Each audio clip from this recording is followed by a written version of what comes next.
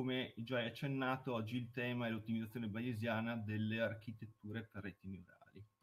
Naturalmente se voi già lavorate un po' con TensorFlow, uno dei più grandi dilemmi, una volta acquisiti i dati e costruito un primo modello, è come riuscire a migliorare, a ottenere il miglior modello possibile.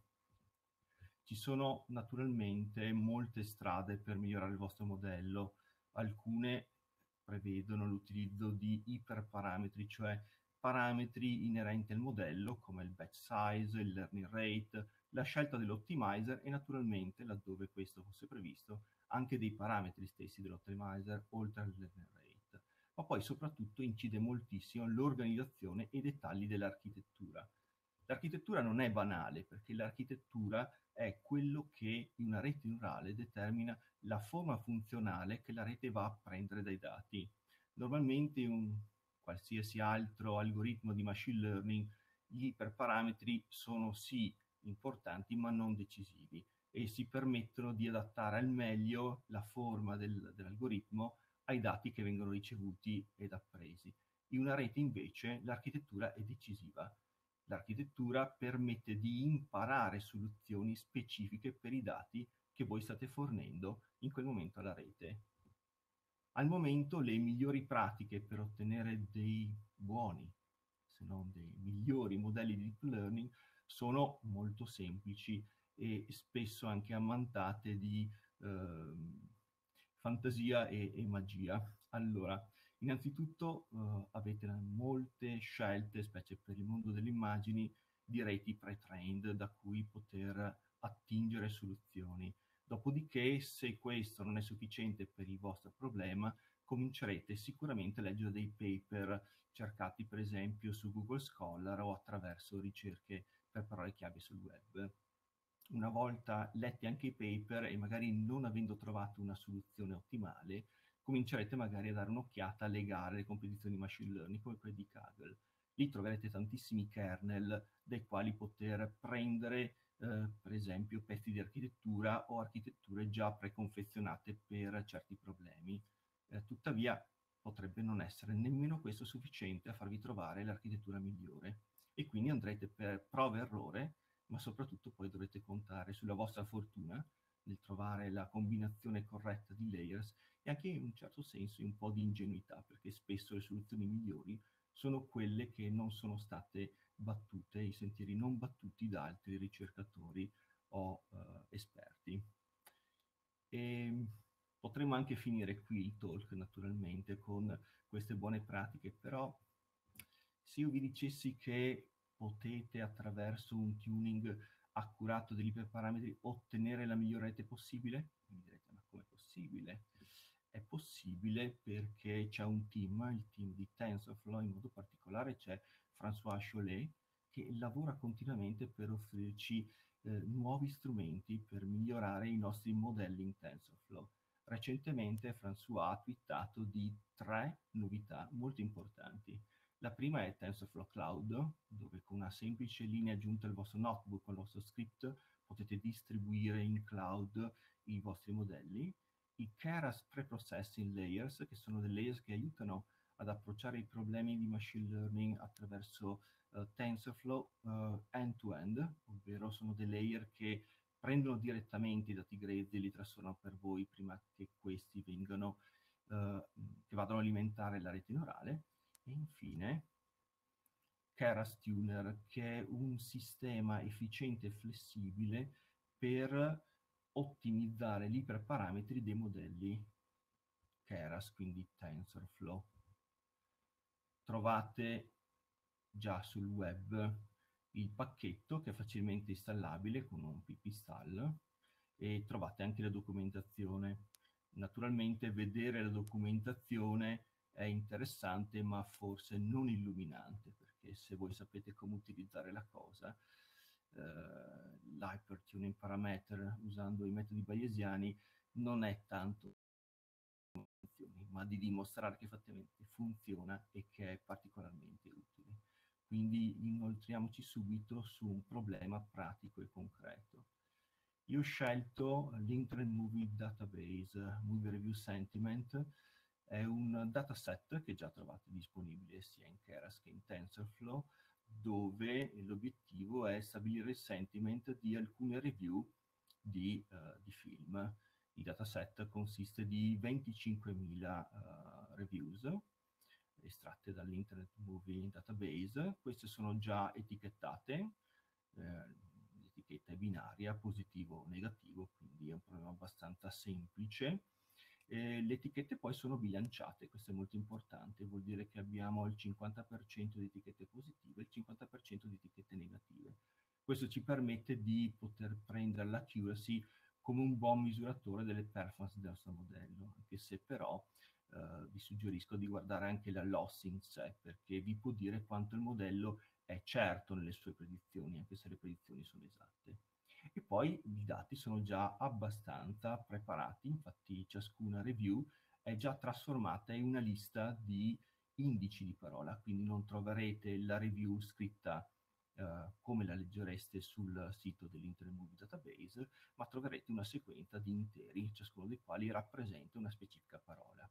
Non soltanto per aiutare ancora di più sul lato dell'ingestione dei dati, questi interi rappresentano, sono ordinati per la frequenza con la quale troverete le parole nel corpus di, uh, di recensioni che andate a analizzare.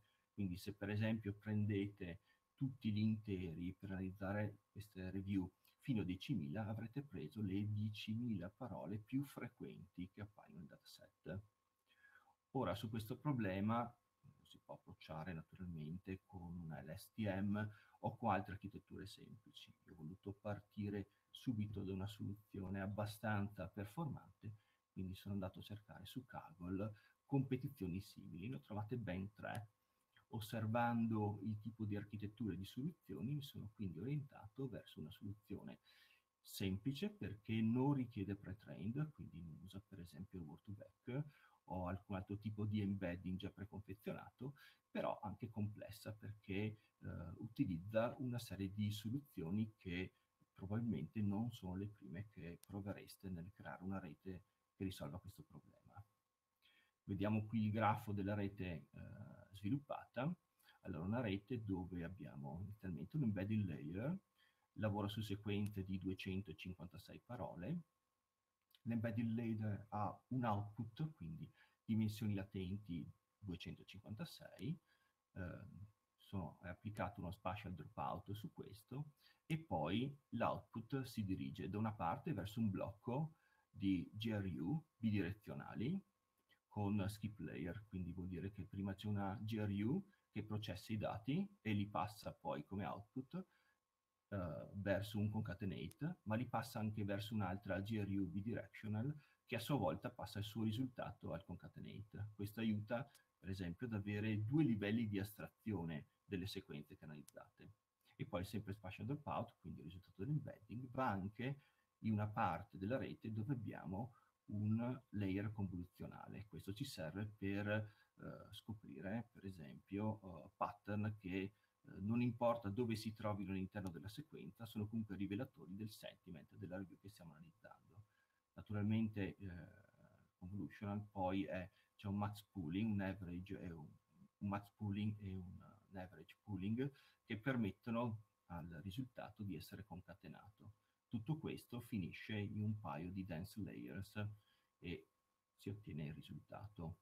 Ora se facciamo il training di questa rete che è già di per sé complessa, notiamo che già dopo due epoch raggiunge il suo massimo sia in termini di validazione che uh, di accuracy sulla validazione che di loss sempre sulla validazione. Testato il modello sul test set fornito col dataset abbiamo una loss di 0,6, una accuracy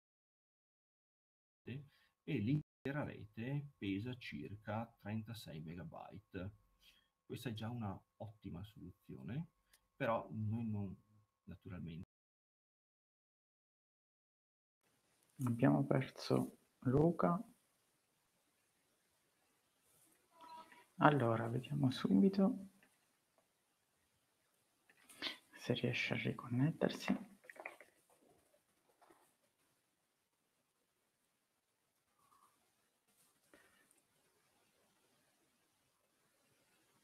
Le connessioni oggi stanno dando problemi praticamente a chiunque. Vediamo di contattare immediatamente Luca e rius- vediamo se riusciamo a riagganciarlo.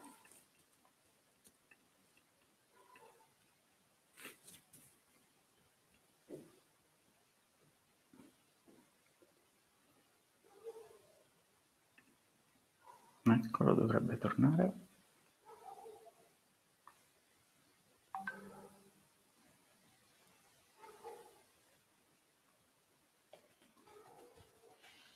Arriva.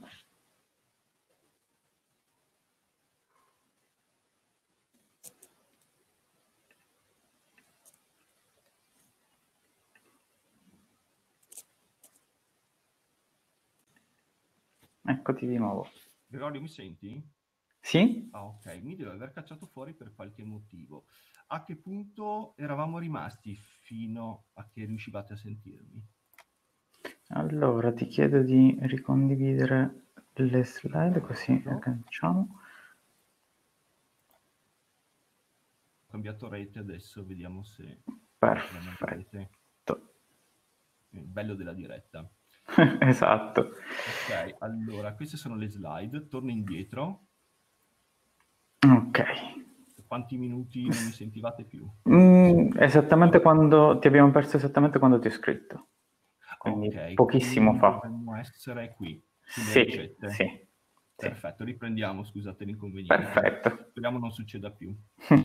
Allora, le ricette per Keras Tuner, io ho mostrato poco fa la rete come è stata costruita osservando esempi su Kaggle e ora cerchiamo di fare naturalmente di meglio. Cosa facciamo? Utilizziamo Keras Tuner e per fare questo dobbiamo seguire alcune ricette specifiche del, del package. Se voi già avete il vostro modello in una funzione che ve lo genera, avete già il 50% del lavoro fatto, altrimenti è necessario wrappare il vostro modello dentro una funzione, avendo cura che il primo parametro sia HP o comunque qualsiasi altra variabile voi desideriate. Perché? Perché questa, questa variabile sarà l'interfaccia tra il vostro modello e Keras Tuner. Dopodiché dovrete definire gli iperparametri all'inizio della funzione come, eh, eh, come metodi di HP. Questo vi permetterà di renderli eh, parametrizzabili rispetto a Keras Tuner. Poi dovrete naturalmente sostituire tutti i valori della vostra rete, che prima erano statici, quindi avete inserito, immagino, dei numeri specifici per stabilire le caratteristiche del layer, con queste eh, variabili, con questi iperparametri così definiti. E poi, laddove vorrete creare architetture molto complesse, dovrete sviluppare dei blocchi a branch, cioè dei sistemi che si, eh, di layer che si eh, istanzino all'interno della vostra funzione e che siano parametrizzati rispetto alle caratteristiche che volete testare della funzione. Ne vedremo fra poco degli esempi, magari vi sarà più. E infine definire in maniera dinamica tutti gli iperparametri via via che create il modello. Vediamo adesso degli esempi col codice. Io quindi ho preso la funzione precedente e ho inserito HP, vedete, all'inizio nella sua definizione. Dopodiché ho proceduto a istanziare tutte le definizioni degli iperparametri che volevo testare. Ho individuato nella precedente architettura l'embedding size, per esempio, come qualche cosa di fondamentale da verificare. Inizialmente avevo pensato a 256 uh, uh, dimensioni latenti come risultato dell'embedding. Qui ne vado a testare da 8 fino a 512. Come faccio? Prendo il mio input HP e utilizzo un metodo. Questo metodo può essere int, può essere float, può essere boolean, può essere choice. Se scelgo int, io andrò a testare numeri interi da un minimo valore fino a un massimo valore, selezionando anche gli step. Quindi qui per esempio ho deciso di testare questi valori tra 8 e 512 eh, per unità di 8. Naturalmente darò un nome a questo iperparametro in modo tale che sia gestibile da Keras Tuner, in questo caso l'ho chiamato con lo stesso nome della variabile, embedding size. La stessa cosa faccio con lo spazio dropout, non sono sicuro che sia necessario, quindi metto come minimo valore 0 e poi un valore massimo, che in questo caso è il 50%, anche qui do uno step e il suo nome. Questo viene tutti gli elementi che io ritengo fondamentali eh, per creare un'architettura flessibile da uh, valutare, da sperimentare. Noterete anche elemento variabile il numero dei layer, sia per quanto riguarda i layer convoluzionali, sia per quanto riguarda i layer uh, ricorsivi e quelli densi. In questa seconda parte vedete che anche uh, c'è un, lavorando con i layer convoluzionali, ho stabilito un sistema dinamico per fare uno stack, quindi per poterne utilizzare più di uno. La definizione di conv layers viene a questo punto gestita da Keras Tuner. Io posso iterare sul numero deciso di Keras Tuner e creare tanti layers convoluzionali che si richiamano l'un l'altro, in modo da gestire all'interno della rete un numero flessibile di questi. Ho fatto la stessa cosa con le reti eh, ricorsive. In questo caso ci sono all'interno della mia iterazione ulteriori iperparametri che vengono di volta in volta decisi, ovvero non importa quanti siano i layers ricorsivi che va a testare Keras Tuner, per ciascuno io vado a creare un flag che mi dice se usa o meno il bidirezionale e un flag che mi dice se utilizza l'LSTM oppure il GRU. E naturalmente eh, ho anche un iperparametro che mi definisce il numero di unità utilizzate. Infine, anche qui faccio la stessa cosa per i dense. Il modello poi viene restituito dopo aver naturalmente anche scelto l'ottimizzatore e qui ho un choice tra vari learning rate, ho deciso di fare una scelta discreta e anche una scelta discreta per gli ottimizzatori che sono richiamati da una funzione esterna dove io vado a scegliere con il choice un valore intero tra 0 e 5, a seconda del valore mi viene restituito un diverso tipo di ottimizzatore. Una volta sviluppata la vostra funzione, che in questo caso è il Create Tunable Model, la si passa alla Bayesian Optimization del Keras Tuner, che è una funzione molto semplice dove prende come parametri l'hypermodel, quindi la vostra funzione così creata, vostra, eh, il vostro obiettivo, in questo caso è l'accuracy in validation, e ha bisogno, per poter lavorare, di un'indicazione su quanti trial, cioè quanti test volete effettuare e da quanti test random volete partire, che è il num initial points. Dovrete fornire anche una directory e un nome di progetto perché ogni esperimento verrà salvato da Keras Tuner. Quindi potete benissimo iniziare con pochissimi esperimenti per vedere quanto tempo vi occorre e poi riprendere ogni momento perché eh, andrà a rileggersi la stessa directory, lo stesso progetto e andrà a riprendersi tutti gli esperimenti già fatti. Una volta stabilito il tuner è sufficiente utilizzare il metodo search che funziona esattamente come il fit di Keras. Fornite il vostro train data, le labels, il numero di epoch, la batch size il validation, se volete fare lo shuffle o meno, il livello di verbosità e potete anche definire dei callback. Epoch e batch size non sono direttamente eh, ottimizzabili. Dovete utilizzare un escamotage in questo momento di sviluppo di Keras Tuner. Sotto vedete un riferimento a una issue di sviluppo. In futuro sicuramente saranno molto più facilmente ottimizzati in epoche, se voi utilizzate l'early stopping, sarà molto facile che la vostra rete si ottimizzi rispetto al massimo valore raggiunto di performance sul validation set. In questo caso un early stopping sulla VALAC che stiamo uh, ottimizzando con il restore best weights vi consente di avere sempre il miglior risultato. Lanciando questa ottimizzazione e lasciandola uh, naturalmente per un po' funzionare, 60 eh, esperimenti hanno richiesto circa 6-8 ore per questo progetto, si ottiene questo risultato. Vedete che comunque non è cambiato all'ottimizzazione, dopo due epoche abbiamo il picco sia di validation che eh, il mio risultato di loss sul, sul nostro validation set, però da un punto di vista del test set il loss è decisamente migliorato migliorato del, uh, praticamente del 50%, scendendo da 0,6 a 0,27. L'accuracy stessa è migliorata, ma soprattutto la rete si è ridimensionata, è diventata di 26 MB, quindi è molto più veloce ed è molto più performante per le previsioni. Che cosa ha trovato il Keras Tuner? Ha trovato che innanzitutto sbagliavo eh, a scegliere un numero limitato di embeddings, dovevo perlomeno raddoppiarli.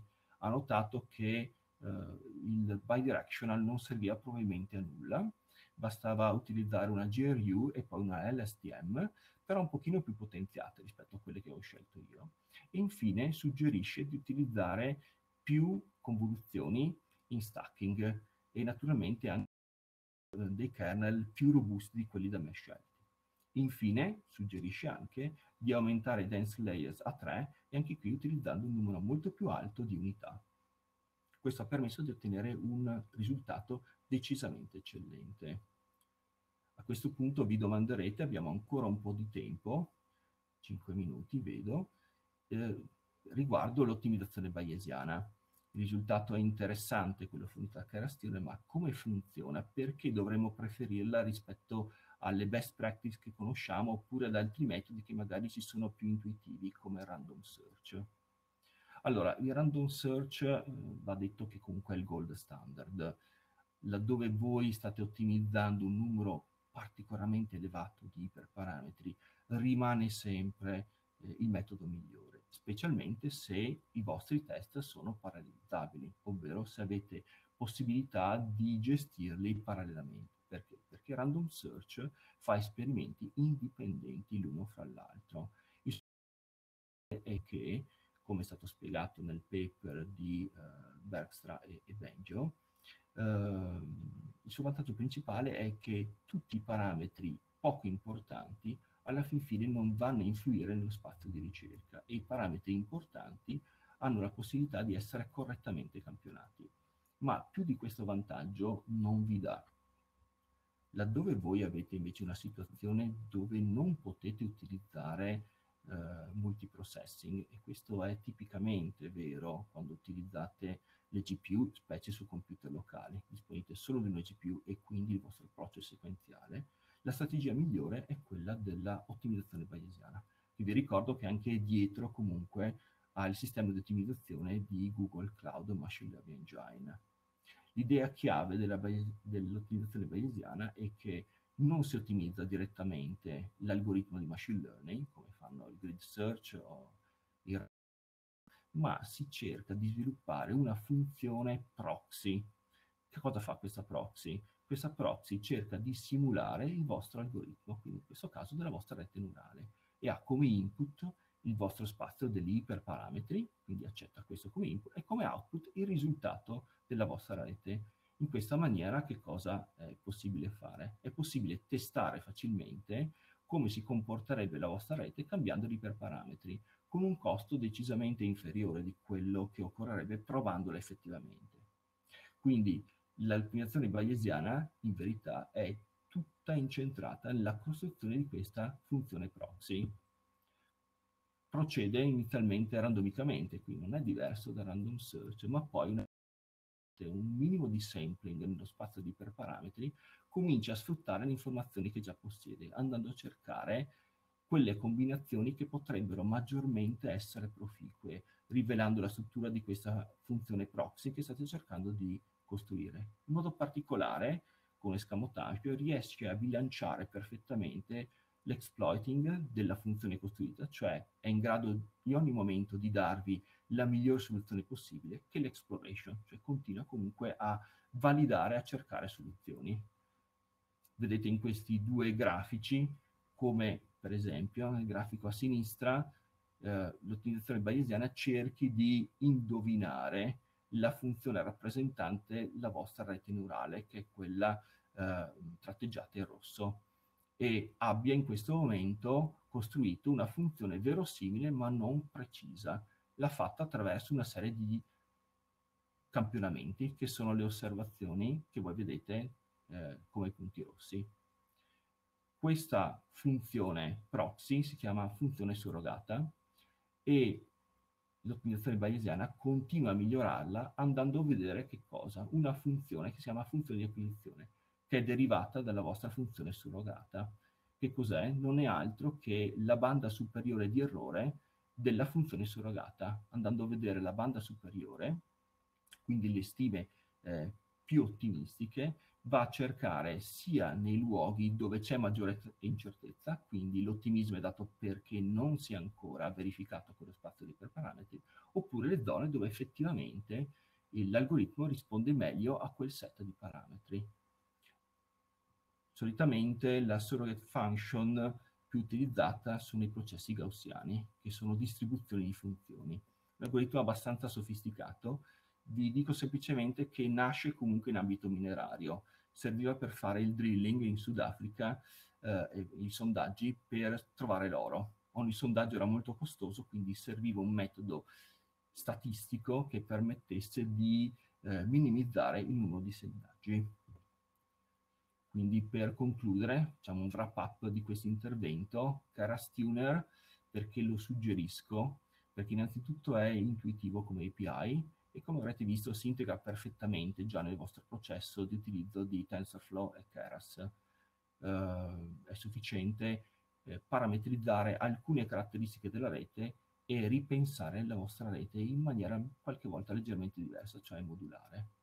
Vi offre poi lo stato dell'arte degli algoritmi di iper-tuning, uh, quindi avete random search, avete anche l'hyperband, che è un sistema di miglioramento del random search, dove il random search viene via via limitato nella sua estrazione casuale di esperimenti eh, da quelli precedenti. E poi avete il Bayesian search che è quello che suggerisco perché per quanto sequenziale vi fornisce le scelte più informate. E naturalmente lo potete utilizzare non solo per TensorFlow ma anche per, Keras, eh, per scusate, Scikit-learn. Vi permette poi di registrare tutti gli esperimenti potete ricominciare ogni volta che volete. Quindi potete partire con pochi esperimenti e poi cercare di creare la massa corretta di esperimenti che vi diano la miglior rete. Io suggerisco dai 30 ai 60 esperimenti. E soprattutto vi forza Terrastuner a pensare alla vostra rete neurale come un sistema modulare, quindi creando circuiti e blocchi che vi consentono già di per sé di eh, avere un approccio funzionale migliore alla costruzione di reti neurali e come ultima cosa trovate il codice su GitHub, quindi potete sperimentare quello che vi ho raccontato oggi direttamente.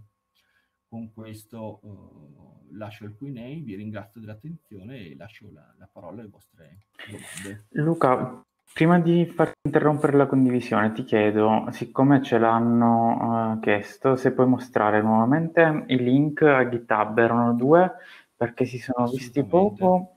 Allora sì, erano questo Lasciamo qualche secondo, purtroppo c'è quel, quel badge sotto che aveva nascosto i link. Ah, mi dispiace. No, nessun problema.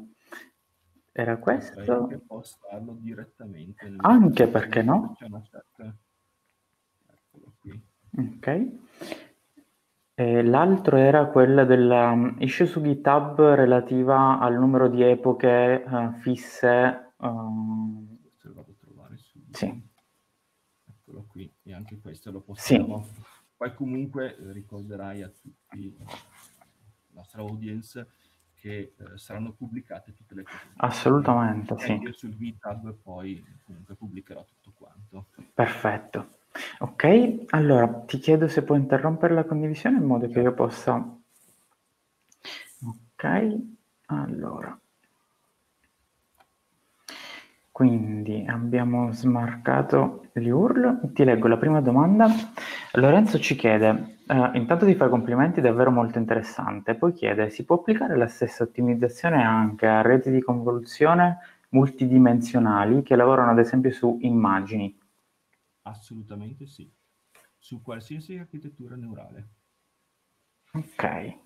L'unico limite è naturalmente utilizzare TensorFlow e Keras. Ok. Prossima domanda. Alessandro ci chiede, anche lui ti fa complimenti, e chiede quali sono i vantaggi di Keras Tuner rispetto alle tradizionali librerie di Bayesian Optimization quali Optuna o HyperOpt? Perfetto, allora io premetto che non ho grande esperienza con Noctuna, ma ho lavorato un sacco con Hyperot. Ehm, Keras Tuner ha dalla sua parte una grandissima facilità. Alla fin fine l'ottimizzazione bayesiana è la stessa per tutti questi package. Ci possono essere per esempio diversi parametri di default che le possono rendere ciascuna di queste librerie più o meno performanti su differenti problemi, però il punto principale di Keras Tuner è che è perfettamente integrato con TensorFlow e Keras e che è veramente facile da utilizzare. Infatti inizialmente anch'io ero restio a cambiare le mie brutte abitudini passando questo nuovo package e mi sono invece reso conto che eh, una volta impostata la rete era un attimo ottimizzarla, era un attimo perché mi bastava semplicemente cambiare la funzione generatrice, parametrizzandola, e poi naturalmente invece di utilizzare il fit che già utilizzavo, cambiare e, mette, e mettere il tuner di, di Keras Tuner. Quindi eh, la facilità è il suo punto di forza. Ok. Perfetto. Allora, mm, non vedo altre domande. Luca, ce io... basta scrivermi. ok. Eh, comunque pubblicherò anche qualche cosa su TerraStuner. Ehm, c'è grande interesse in questo momento. Eh, l'utilizzo è sempre più intenso di TensorFlow e delle reti neurali, mm-hmm. problemi relativi ai dati tabellari ed è fondamentale riuscire a trovare in questo caso la giusta architecture eh, specie su problemi eh, inesplorati, problemi nuovi, non ci sono pre-trained, quindi bisogna crearsela. E spesso è un, un processo quasi magico, dove alchemico, dove si vanno a sperimentare. Anche io l'ho fatto e mi sono non erano risultati migliori. Um, permette un approccio più scientifico, sperimentale, basato sulle prove però informate, che è ben diverso da quelle che possiamo fare noi un po' d'occhio e croce sulla nostra esperienza, sul nostro sentiment. Durante le tue slide ah, mi associo intanto ai complimenti, è stato molto chiaro e, e, l'argomento è anche molto complesso, quindi veramente un'ottima presentazione. Durante le tue slide mi venivano in mente le lezioni di eh, analisi matematica 1 quando si lavorava tantissimo con Taylor, con approssimazioni successive e mi ha ricordato tantissimo quell'approccio perché alla fine una surrogata va a, a, a cercare di avvicinarsi ed è bello vedere come uh, un qualcosa che magari quando le ho studiate io un po' di anni fa, chi ci poteva mai pensare che quell'approccio alla fine potesse essere utilizzato per una cosa così complessa e interessante? Eh, questo, è, Bell'approccio. Questo è bello e anch'io scopro sempre applicazioni di cose teoriche che pensavo molto lontane dalla realtà che invece vero. applicate anche con, con semplicità ai problemi che affrontiamo tutti i giorni. Luca, grazie mille. Gregorio, grazie a tutti i presenti e sempre a disposizione se avete domande. Ok. Ciao, ciao a tutti, ciao a, tutti, a tra poco.